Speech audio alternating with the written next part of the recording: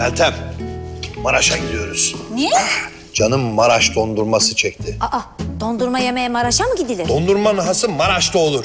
Oranın havası, suyu, salemi veriyor tadını. Böyle döve döve yapıyorlar. Mutfak. Ne? Mutfak.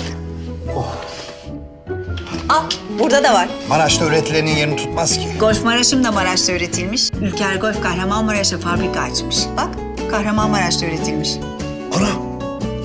Olsun Ülker Golf'e.